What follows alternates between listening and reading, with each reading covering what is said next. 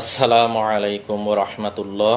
প্রিয় দর্শক, আমন্ত্রণ জানাচ্ছি এনআর কম্বাইন টিভি ইউটিউব চ্যানেলে। আমি মোহাম্মদ নুরুজ্জামাল বিএসসি। আজকে আপনাদের সামনে যে ভিডিও নিয়ে হাজির হয়েছি, তা হল টিকা জনিত কুফলের হোমিও সমাধান। অনেক সময় মানুষ টিকা নিয়ে থাকে। যেমন হাম বসন্তের টিকা, তারপর জন্ডিসের টিকা, কুকুর, বিড়াল ইত্যাদি যদি কামড় দেয়, তার টিকা। আর বর্তমানে যে টিকাটা বহুলভাবে চলতেছে, সেটা হলো করোনার টিকা। তো এই টিকা নেওয়ার পর অনেকের শরীরে সমস্যা দেখা দেয় বা কুফল দেখা দেয়।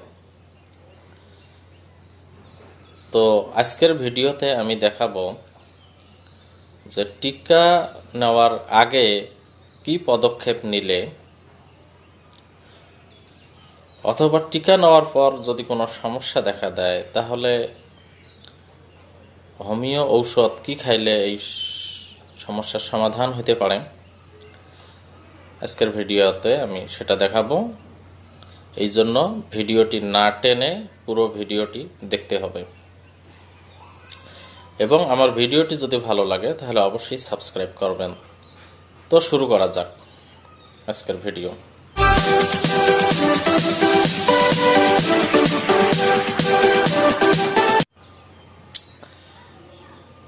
টিকা লওয়ার আগে যদি সালফার দুইশো শক্তি দুই ফোঁটা জিব্বায় দিয়ে খাইয়া টিকা যদি লইতে যান, তাহলে টিকা নেওয়ার যে কুফল, সেটা আর দেখা দিবে না, অর্থাৎ আর কোনো কুফল হবে না। আর যারা এই সালফার দুইশো শক্তি না খেয়ে টিকা নিয়েছেন, কিন্তু টিকা লওয়ার পর যদি কোনো কুফল দেখা দেয়, তাহলে লক্ষণ ভেদে হোমিও ঔষধ খাইতে হবে, তাহলে এই কুফল নিরসন হবে। তো টিকা লওয়ার পর যদি দেখা যায় যে জ্বর হয়, তাহলে আর্নিকা দুইশো শক্তি, দুই ফোঁটা করে জিব্বায় দিয়ে চার ঘণ্টা পর পর খাইতে হবে।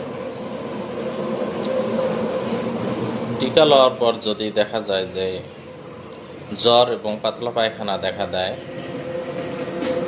তাহলে থুজা দুইশো শক্তি, দুই ফোঁটা করে চার ঘণ্টা অন্তর খাইতে হবে। টিকা লওয়ার পর যদি দেখা যায় যে জ্বর, পাতলা পায়খানা, সেই সাথে শরীরে কোনো উদ্বেদ বের হয়, তাহলে থুজা দুইশো শক্তি, দুই ফোঁটা করে চার ঘণ্টা অন্তর অন্তর খাইতে হবে। টিকা লওয়ার পর যদি দেখা যায় যে ব্রঙ্কাইটিস বা নিউমোনিয়া হয়, তাহলে অ্যান্টিম টার্ট তিরিশ শক্তি দুই ফোঁটা করে তিন ঘণ্টা অন্তর অন্তর খাইতে হবে।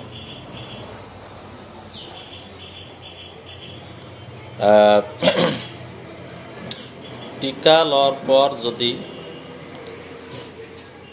জ্বর, পাতলা পায়খানা এবং সেই সাথে খিচুনি দেখা দেয়। তাহলে সাইলেসিয়া দুইশো শক্তি দুই ফোঁটা করে চার ঘণ্টা অন্তর অন্তর খাইতে হবে।